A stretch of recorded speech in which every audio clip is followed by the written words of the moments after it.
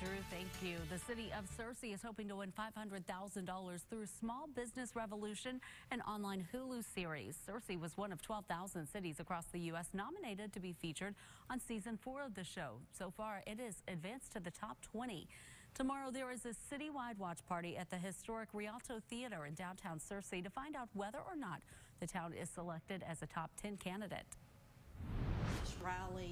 The community together for something positive for as a whole, but it's also an opportunity for small business owners to kind of get an injection of some money and some small business assistance.